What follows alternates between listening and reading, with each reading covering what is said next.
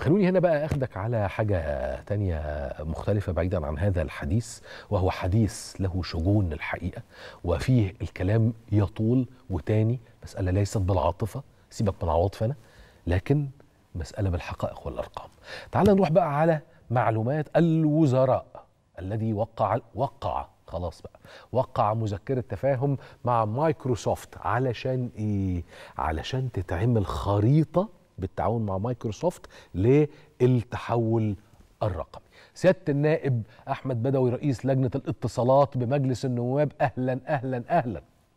أهلا وسهلا شبيه ازي حضرتك؟ ازيك يا سيادة النائب؟ عامل إيه؟ ربنا يخليك وتحياتي لحضرتك ولكل لا المشاهدين تحياتي ليك و و وشكري دايما موصول على قبولك كل مكالماتنا واستضافاتنا بتبقى يعني بنبقى سعداء ومتشرفين بيك دايما. ده شرف لينا ده شرف. أنا عاوز أقول لك الموضوع اللي أنا كنت مع سيادتك فيه في الذكاء الاصطناعي يعني شهد ردود أفعال وجدنا رسائل. يعني ناس في ناس قالوا إحنا عرفنا من الحلقة يعني إيه ذكاء اصطناعي وسلبياته يعني. فإحنا أيوة. بنشكرك. يا رب يخليك يا سياده النائب. سياده النائب هرجع بقى على الموضوع بتاع النهارده والتوقيع مع مايكروسوفت عشان نعمل حاجة اسمها الخريطة الرقمية. أول سؤال هيجي على بالي أنا وأي مشاهد بعاد شوية إحنا عن التكنولوجيا والاتصالات يعني إيه خريطة رقمية؟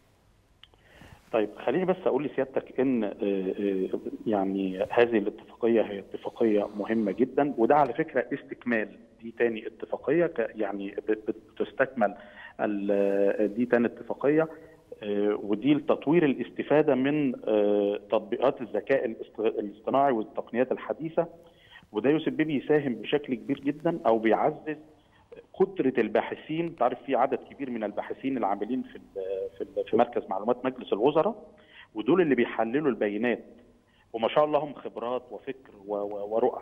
آه، آه، هذه الاتفاقية بتساعدهم بشكل كبير جدا في تحليل البيانات وبتساعدهم أيضا في اتخاذ ال- القرارات وطبعا في بقى مقترحات لتطوير أي موضوع ويتخذوا قرار فيه. ليه مايكروسوفت؟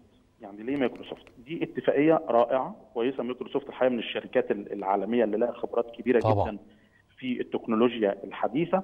إحنا هنا بهذه الاتفاقية إحنا بنتواكب مع العالم. هذه الاتفاقية بمثابة إن مصر النهارده آه، وأحد مراكزها وهو مركز مهم آه، مركز معلومات مجلس الوزراء لما يوقع الاتفاقيه دي إحنا النهارده بننقل الخبرات العالمية في مجال التحول الرقمي للكوادر العاملة في المركز عندنا. طب ده شيء رائع جدا. يعني ده ده أنا كنت فاكر يعني اللي هو إيه توقيع الاتفاقيات والحاجات دي ساعات كده تمر بالساهل الموضوع كبير ما هوش سهل وما هوش. بسيط. جدا. طبعا أنت عارف سيادتك إحنا كل يوم في جديد. إحنا النهارده ال- المذكرة دي الحقيقة أنا سعدت جدا بيها وبشيد بيها.